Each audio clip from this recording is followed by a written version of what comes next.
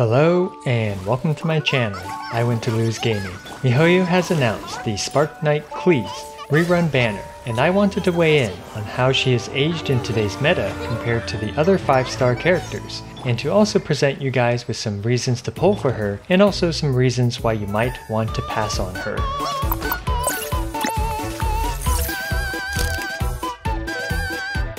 The first and most important thing to note is that she's absurdly cute, by far the cutest character in all of Genshin Impact. That's it, end of story. Now, in terms of actual gameplay, Klee is exceptional for world exploration, and is one of the best characters for that. Her All My Treasures passive indicates where all local Mondstadt items are on the minimap, and she is also a Pyro Bomb user, as such, she can break ores, break electro crystals, break all forms of miniatural shields, burn dendro thingies, light torches and dragon spine to prevent you from freezing to death, and allows you to farm these ice flower things. On top of all of this, she is still a top tier DPS and a great battery for your entire team. Klee is still my go-to pyro character for the overworld due to all the versatilities mentioned.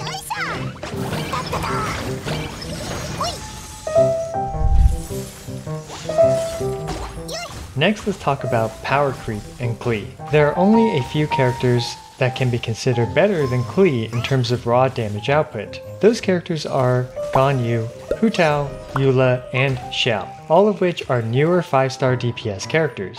Unfortunately, we're clearly seeing a pattern here, and we can expect all future 5-star DPS characters to output more and more damage than Klee can. Future 5-star DPS characters will continue this trend and thus continue to power creep Klee. And what if another 5-star Pyro DPS character comes out? Well, Klee will probably be pushed even further down in terms of her DPS ranking. Regardless, Klee is still an exceptional main DPS, and even while a bit power crept, she is more than capable of handling any content that isn't excessively resistant to pyro damage. In my humble opinion, she is still the 5th best DPS character in the game. And despite being power crept in terms of raw DPS output, there are still many situations where Klee is still the ideal choice.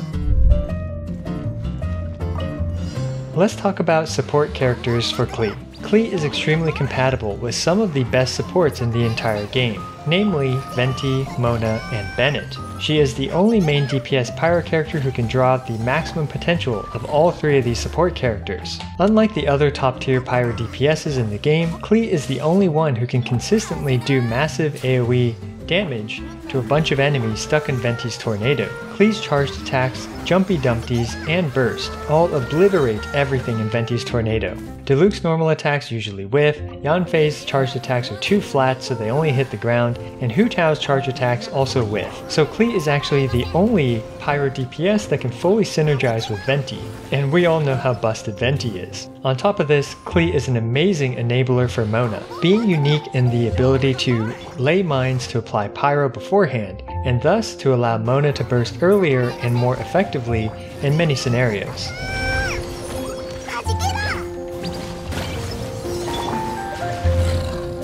When it comes to Bennett, although Diluc and Yanfei don't have the following problem, Hu Tao actually does not synergize with Bennett, since Hu Tao needs to stay under 50% HP and Bennett heals like a madman. Klee, in contrast, has no issues working with Bennett. As such, Klee is the only Pyro DPS to fully be compatible with Bennett, Venti, and Mona. The next negative I wanted to talk about is how clunky Klee can be. Now this can actually be seen as both a negative and a positive, but in order to draw out Klee's full potential, you need to animation cancel. Without animation cancels, Klee feels very clunky to use. This is due to a few reasons, but one of them is that she's basically a melee character with how short ranged her charge attacks are. Her 3-string normal basic attack is very slow, and suboptimal for her DPS. They also limit Klee's mobility. Finally, she is very squishy and has no super armor at all, thus making her clunkiness deadly at times. As such, in order to draw out Klee's potential, hop cancels, walk cancels, normal charge attack cycles, jumpy burst animation cancels are all needed to draw out the full potential of Klee. And if you enjoy high mechanical ceiling characters, Klee is great for you. But if you don't want to play a character that requires all this stuff to bring out their max potential, Klee is probably not a good choice for you. Also keep in mind that even with animation cancels, Klee's charge attacks eat through tons of stamina extremely quickly, and this leads to her being able to dash less in comparison to other non-stamina dependent characters, and thus making her even more clunky as a result.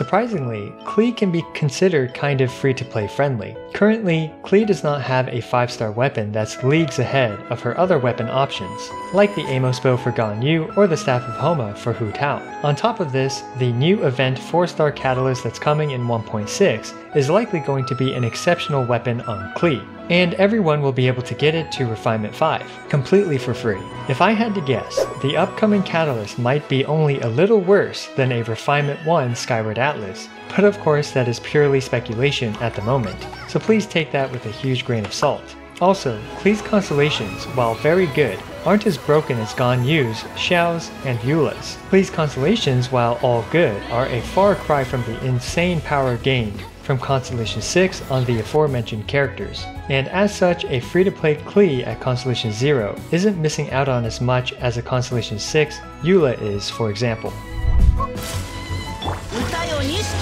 Surprisingly, Klee's Constellation 1 can actually hurt her performance. If you like playing Klee with Xingqiu, her Constellation 1 will often ruin her vape combos. However, I've always been an advocate for raw pyro damage, because if you use jumpies in her burst, you won't be able to vaporize her charge attacks with Xingqiu anyway, and a ton of Klee's DPS comes from her jumpy dumpties and burst. Regardless, if you do like using Klee with Xingqiu, Klee's Constellation 1 can often ruin her vape combos, so do keep that in mind. Klee is actually a great support character, especially at Constellation 2, there are many combos that utilize the fact that Klee is a Pyro Catalyst user and can lower defenses at Constellation 2. Just by being a Pyro Catalyst user, she can provide 73% attack due to the Thrilling Tales of Dragon Slayers and the Pyro Resonance. On top of that, at Constellation 2, Klee has access to the very rare Defense Shred, which can amplify damage by quite a lot. Of course, even without Constellation 2, Klee can still provide that 73% attack, which is very powerful.